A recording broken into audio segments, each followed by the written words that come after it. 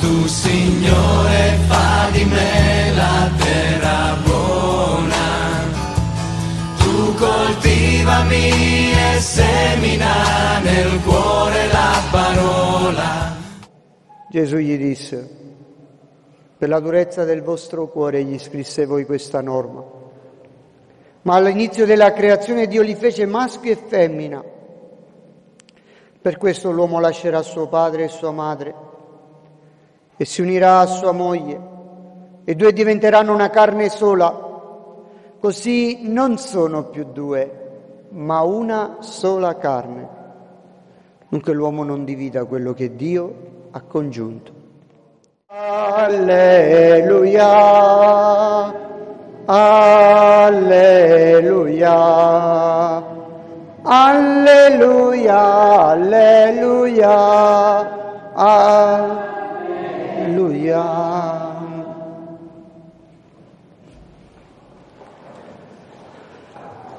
Il Signore è buono e grande nell'amore e l'amore di Dio è eterno, come ci diceva ieri sera Padre Antonello. È fecondo, è fedele. E Gesù già da queste ultime domeniche sta facendo fatica a farci guardare il mondo e il cammino che lui vuole percorrere fino a Gerusalemme con gli occhi dell'amore. Per Pietro è stato difficile. Se beccato quel bel rimprovero, vai dietro a me, Satana. Per i discepoli lungo la strada è stato difficile capire ancora questo amore grande che Gesù vuole ancora oggi rivelare a noi. Discutevano chi fosse il più grande. E sì, le vie del Signore non sono le nostre vie, l'amore è così distante da noi. Ma Gesù ci vuole portare su questi suoi occhi, su questo suo cuore che l'amore infinito di Dio ed eterno per l'uomo, come ci ha detto la seconda lettura, vuole salvare l'uomo a tutti i costi.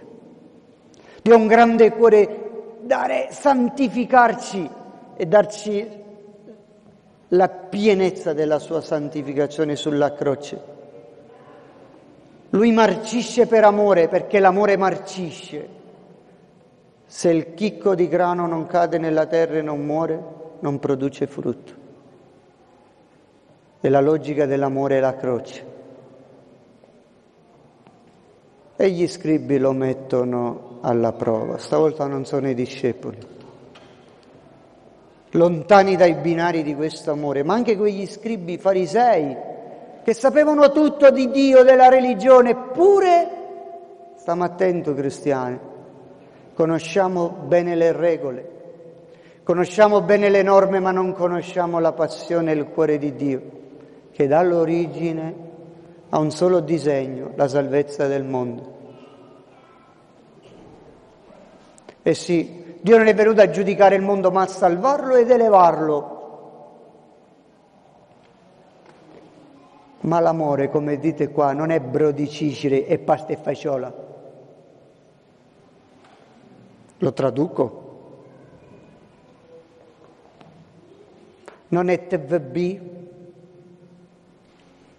fioretti, cuori che si illuminano, lampadine che luccicano, giuitta amoruccio. E poi, quando saliamo sulla croce, ognuno passa la strada. Ah, levati più per gioco. La mattina non Tomasce.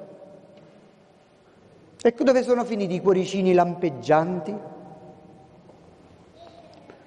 Perché l'amore o lo è. Io ricordo una cosa che mi ha toccato, e sono quelle cose, quello è l'amore vero l'amore fedele, lo diceva Padre Antonello, eterno, l'amore di Dio che si incarna e tu lo vedi, perché la cosa bella di ieri di Padre Antonello è stata questa, ci ha portati a dire che nell'universo già dalla sua origine Dio ha scritto l'amore e l'amore ha solo un linguaggio. Infatti ho un episodio bello della mamma di mia mamma, di mia nonna Caterina. Quando è morto mio nonno Pietro, mio nonno Pietro è stato tre anni allettato e, e aveva una casa moderna, moderna, non di quelle che abbiamo noi, quelle moderne, quelle nostre sono antiche. Avevano una stanza da letto nasciata e una cucina un metto mezzo nasciata, dunque era un po' come me, una parrocchia, una banna, un mezzo nasciata e poi passo all'altra, eh, una casa moderna, ecco, una patta dormivano, poi attraversavano la strada e una patta mangiavano, eh. le case moderne, no? E, e mio nonno stava dunque dall'altra parte e stava tre anni, è stato per tre anni. E c'era sempre, quando è morto mio nonno, io andavo a trovare mia nonna, vedevo sta lampadina accesa nella stanza di mio nonno. Mio nonno non c'era più. Lei puntualmente ogni giorno andava a accendere la lampadina, quella luce era... E ho detto io, ma chi? Questo è amore. ah? Diceva ieri sera padre, padre Antonello, è eterno. Neanche la morte lo uccide, neanche la morte lo separa. Eh, eppure io non ho visto mai a mio nonno che ci mandava te bebì, eh, ciuridi. Eh, allora qua c'è qualcosa di strano, o no? Qua c'è qualcosa che... Eh, è vero? Ditemi, ora Gesù dice lasciamo stare queste leggi, Mosè per la durezza del vostro cuore, Papa Francesco, Padre Mario, cerchiamo di perché la nostra è la misericordia, cerchiamo di salvare gli uomini, ci ancoriamo, cerchiamo anche di cambiare le regole, cerchiamo di essere misericordiosi. Oggi la misericordia ancora di più, perché sappiamo che tante coppie nascono già fallite prima ancora che nascono, perché c'è una immaturità psicologica, c'è una fragilità, ci sono tanti problemi. Ci sono tante scelte superficiali, c'è un mondo che ci ha confuso. Quando due ragazze si presentano per chiedere il matrimonio, tante volte non sanno manco quello che stanno facendo. E noi, per la durezza del cuore degli uomini, come Mosè, dobbiamo anche dobbiamo accogliere, non possiamo essere rigidi, giusto? Non possiamo chiudere le porte e separare i cattivi dai buoni, i divorziati, da noi divorziati. Cerchiamo di essere misericordiosi, però non capite male, Dio non ha cambiato la legge originale. Dio non ha cambiato l'amore, l'amore è quello. Non, ha, non è stato cambiato niente. E neanche Papa Francesco ha cambiato niente, neanche Padre Mario, non perché accogliamo, non perché noi invitiamo tutti a guardare in alto. Siamo nati aquile per volare, siamo nati per assomigliare a Cristo, all'amore di Dio, a quell'amore eterno, eterno. A quell'amore fecondo che genera, che dona vita, che sa morire ogni giorno, che sì, ogni tanto volano i piatti, ma poi come ha detto Papa Francesco la sera ci chiediamo scusa e perdono. Quell'amore fedele, fedele, no? Che poi appena eh, comincia una, una bella figliola, ne fa vedere che così più, perdiamo i sentimenti. No, figlioli, siamo, siamo così diventati spazzatura. Creiamoci una spina dorsale. Io oggi le famiglie, lo sai perché le, le rimprovero? Qui sono duro io perché i figli hanno dato casa, soldi e ci sono tanta pace e mangia, tutti depressi perché dopo aver fatto una vita di sacrifici i loro figli sono tutti scombonati male. Ma perché? Perché non gli hanno dato il sacrificio. Una spina dorsale pronti a un amore eterno, fedele e fecondo. Questi sono i più grandi genitori e che non l'hanno dato con, eh, con i soldi, con l'economia, ma l'hanno dato prima di tutto con la testimonianza.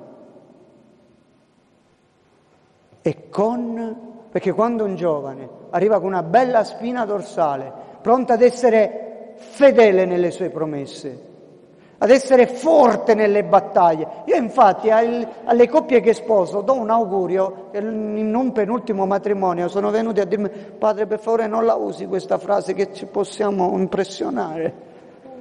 E io un po' mi sono, mi sono, me la sono presa, perché non la dire questa frase? Io perché io do un augurio che non piace. Qual è? Che in questa vita è magliettare sangue. E non è che sto augurando questo, ma sto, dico il dopo, che nella vita il magliettare sangue e l'augurio più bello è che possiamo essere sempre eterni, dunque mai voltarci indietro. Ho portato avanti una famiglia, volista la bicicletta, pedala. Io mi fece parrino e tu sangue, fino a sera, fece buci e che faccio? Mi volgo indietro? No, andiamo avanti. Se no non amo Gesù con il mio cuore, non amo Gesù con la mia... Ninche ma bucca. Diventiamo teologi, diventiamo monsignore. Oh, scena da st'altare. Per Padre Nino glielo sto facendo, ma mi faccio pure per mia. Piglio, vedi in faccia. E eh, va bene. Infatti qualcuno che rimprovero in chiesa, loro lo sanno qual è la mia predica, quella di Matteo. Chi prende in mano l'aratro e si volge indietro non è adatto per il regno dei cieli. Chi ha fatto questa festa della nocciola e dice non ne faccio più, non l'hai fatto per la, per la Santuco, non l'hai fatto con amore, perché l'amore è... Ah, non l'avete dimenticato.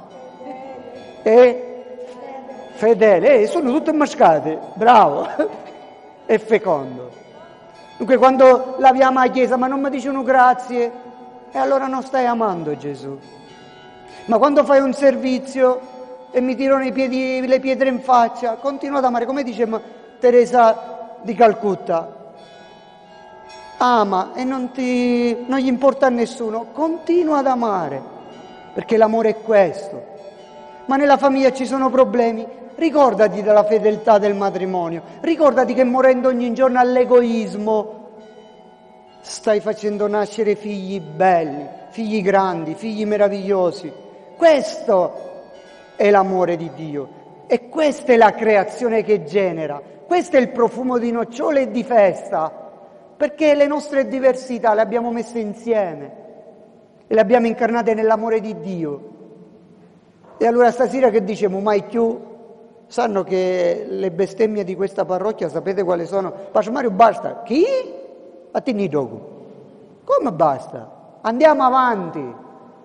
Andiamo sempre avanti, continuiamo ad amare, continuiamo a fecondare questa terra come ha fatto Sant'Ugo, che ancora dopo otto secoli non si è stancato, e. Come non sopporta? Perché il suo amore è eterno, il suo amore è fecondo, il suo amore è fedele, non ci ha traditi mai. Ne mannau acqua a tutta forza, perché se dici acqua Sant'Ugo, ma è stato fedele perché disse due giorni vi regalo, solo per tutti. È stato eterno perché non viene mai meno al suo amore per questa terra ed è fecondo. Che bella vedere questa chiesa e questa Badia Vecchia che a posto di morire, come dicono tanti, rinasce e ricolora di luce e i cuori. Allora amate come Dio. Non cercate le leggi, la durezza delle norme, non cercate che la Chiesa approvi il divorzio, non andate a redare tutte queste grattacapi, la legge di Dio è amore, basta. Ama, ama, ama eternamente, ama con tutto il cuore, ama. E se poi nella vita cadi, rialzati. E se poi la tua vita fallì nel matrimonio e speriamo che il Signore ti aiuti e ti faccia andare avanti. Risolleviamoci tutti, ma sempre avanti. Non guardiamo i nostri peccati, ma guardiamo di assomigliare a Cristo e di assomigliargli sempre di più. Non è la logica della grandezza degli discepoli, non è la logica di questo mondo, ma solo nella logica della creazione. Perché il disegno del matrimonio è quello che oggi ancora una volta rinnoviamo qui nell'Eucarestia. Mangeremo il suo corpo, berremo il suo sangue e diventeremo una cosa sola con lui. Ma lui ci sta amando eternamente perché ancora celebra l'Eucarestia per noi. Ci sta amando fedelmente, non ci ha traditi mai Gesù e ci sta amando con fecondità, perché noi alla fine dell'Eucaristia diremo non siamo più noi che viviamo, ma lui che vive in noi. E da questa Chiesa uscirà una sorgente d'amore diciamolo al contrario, ma noi così siamo nell'Eucaristia, siamo pronti all'amore eterno per Gesù, siamo pronti ad essergli fedeli, siamo pronti ad essere con Lui fecondi. Oh Gesù, manda il tuo Spirito e rendici sacramento visibile del tuo amore nella nostra vita, nelle nostre famiglie e nelle nostre comunità, perché l'amore sponsale è l'immagine più grande della creazione, della salvezza e della rinascita. Tutto il Vangelo infatti di Giovanni iniziato Gesù dalle nozze di Cana e tu Maria ancora torni qui a Badia Vecchia a dirci il messaggio più bello. Fate tutto ciò che lui vi dirà. E se è la cosa che Gesù ci ha detto oggi è diventare bambini, perché i bambini sono pronti sempre ad accogliere tutto l'amore che gli viene dato. Grazie Gesù, lode a te, lode insieme a Sant'Ugo, lode in questa chiesa, lode e oggi con gioia cantiamo le tue meraviglie e lodiamo il tuo amore per sempre. Lode e gloria a te, Signore Gesù.